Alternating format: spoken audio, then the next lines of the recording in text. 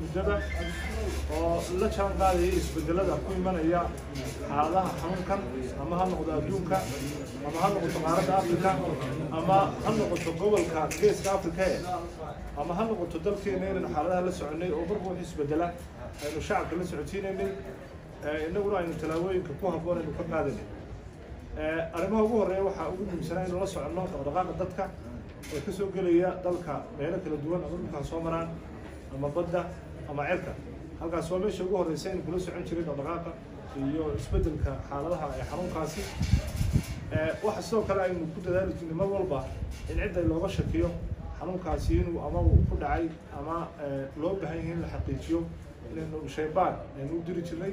oo taana aynu go'aamada ku qaadan jirnay marka shaybaarka aynu isticmaalno w h o ay ku talisay oo halka ku yaalla south africa ama kenya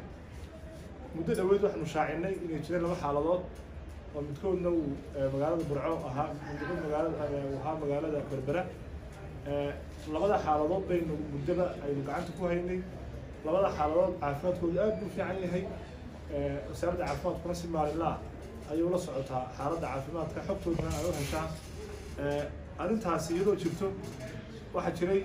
inaan wadano shaybaar u dirnay afar iyo labaatan qof oo dambe oanu daba soconay oanu xaaladooda caafimaad la soconay. Afar labaatankii qof waxaa noo soo noqotay natiijadoodii maantana waxaanu dadka u sheegaynaa bulshada reer somaliland inay jiraan saddex kiis oo cusub. Oo xanuunkaa inuu qabo oo ku dhacay la xaqiijiyey. Xaaladooda caafimaad aad bay wanaagsan tahay. Wax iminka calaamado badanna kama muuqdaan. Xaalad ka mid a oo qofkaasi hadda wuxuu ku sugayay magaalada boorama labada xaaladooda kalena waxay ku sugayay magaalada hargeysa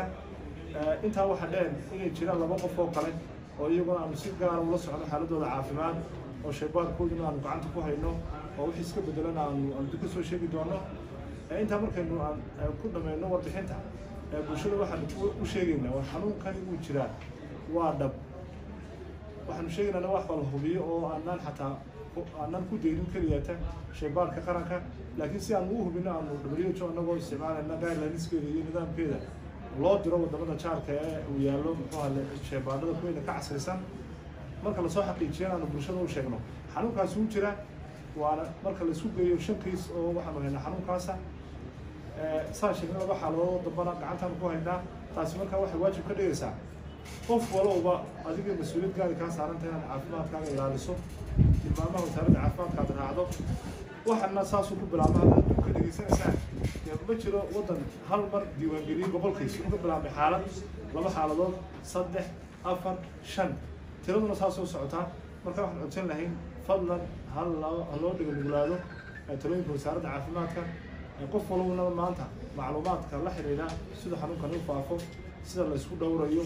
qofku hadduu ku dhaco xataa sida aad ula ula ula macaamilaysaan waad ka dharagsantihiin laakiin waxaan u maraynayaa maanta waxaan taagannahay waqtigii qof walba uu si dhaba arrintaa u fulin lahaa xukuumad ahaanna guddiga qaran waada weyneyn waxay soo saareen qaraaro tiro badan oo la xiriira habdhaqanka dadka meelaha la isugu imanayo iyo sida rabo dadku inay u noolaadaan